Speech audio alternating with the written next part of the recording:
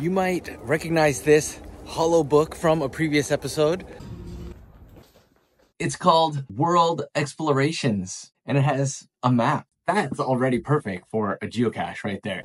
Well, we got in touch with the little library owner and they said they would be very happy to have a geocache in their little library. So we're going for a walk. We're gonna make it to that library. We're gonna place this geocache.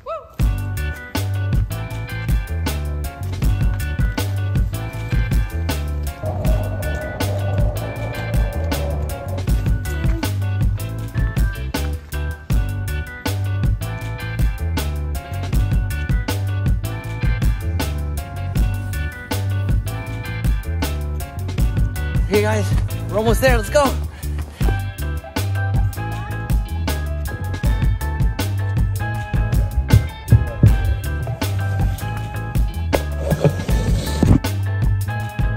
There it is.